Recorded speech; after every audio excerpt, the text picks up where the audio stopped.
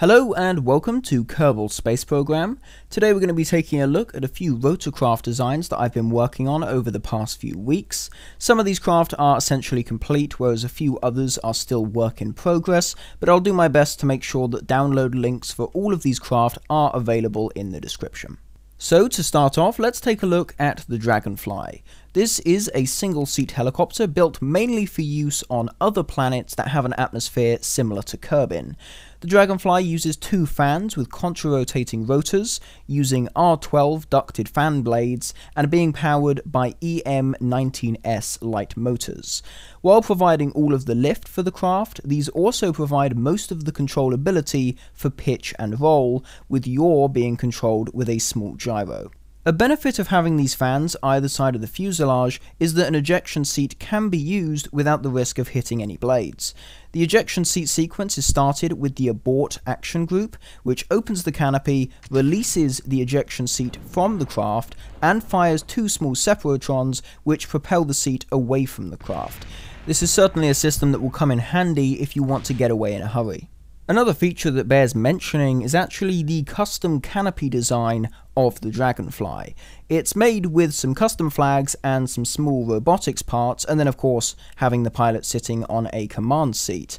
This really helps to save weight, and it also gets the look that I was going for, especially with the canopy opening and closing, which isn't something you have with the standard cockpits in-game. A few other minor features are some lights for night flying, these are mounted on the fronts of the two fans, and also a small solar panel between the two fans that allows for the batteries to be recharged after a bit of flying. And while the Dragonfly is by no means fast, it is actually a very agile and very stable helicopter thanks to its light weight of only 2.9 tons. In the future, I actually plan to put a grabbing unit on the underside of the fuselage so that I can use it to carry stuff around. As I mentioned, it's designed mainly to be used on other planets, so the idea would be that I can use this to transport rovers and other things around bases on those planets.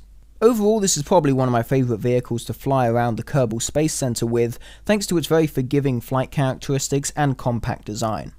So now on to our next rotorcraft. This is the Zoomer, although personally I've taken to calling it the electric chair due to the amount of Kerbals that have been dusted while flying it. Originally this was built for the same role as the Dragonfly, it's very light, not exactly the most practical or safest vehicle I've built thus far, but it, the point is that it's a light vehicle designed to go to other planets and just transport Kerbals to and from where they need to be.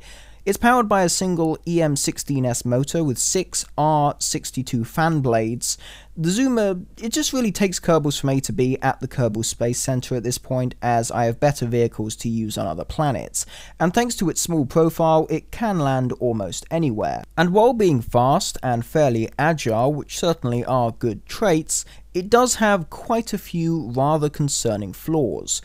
Firstly, due to the single fan, it will experience a fair amount of torque.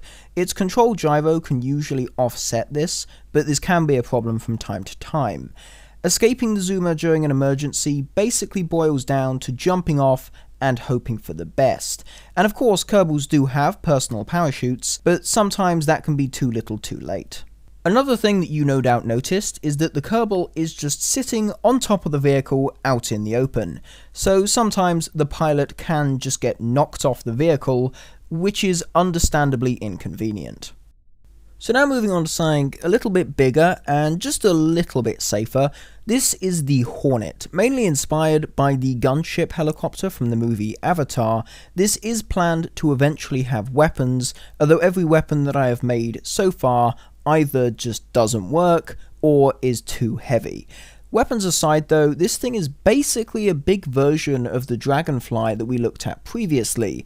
Custom canopy design, ejection seats for the crew members, and two main fans with contra-rotating rotors.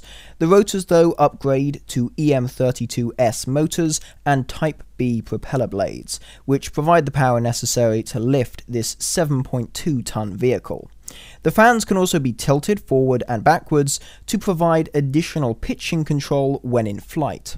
Despite being very similar to the Dragonfly, the Hornet does also have a few distinguishing features. Firstly, a tail rotor, which serves a primary function of providing additional yaw control to the vehicle, although the Hornet can actually continue to fly without this tail rotor if it needs to save power. Another way that the Hornet differs from the Dragonfly is the ability to pitch those lifting fans. As well as providing additional pitch control, this also allows for the center of lift to be slightly moved to line it up with the center of mass, which may change due to weapons being added to the vehicle. Another change that is slightly more difficult to spot is actually with the sepratrons on the ejection seats. The angles of the sepratrons have been slightly changed to ensure that the two pilots don't crash into each other when they eject from the vehicle. Overall, the Hornet is quite a nice helicopter just to fly around the Kerbal Space Center. Uh, it's quite a bit bigger than the Dragonfly, but it also maintains a good level of stability and agility while also being considerably faster. I am hoping that this will prove to be a nice weapons platform once I can actually create some working missiles. So now onto the final rotorcraft for this video. This is the Flea, a 0.9 ton ducted fan craft using two EM16S motors with R62 fan blades to provide the lift and then a pair of gyros for control.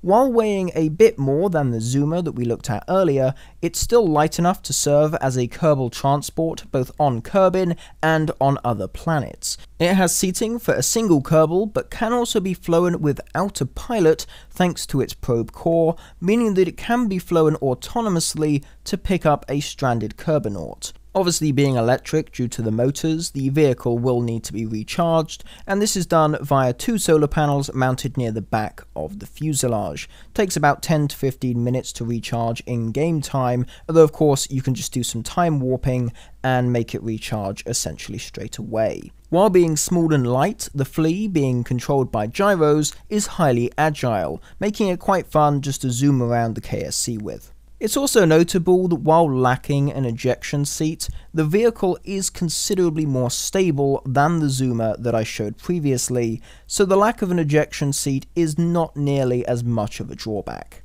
The Flea and the Dragonfly are my two most recent rotorcraft designs, and are certainly the two that I enjoy flying the most thanks to their good stability and agility. Neither of them are that fast compared to some of the bigger rotorcraft that I have, but they are certainly the most fun.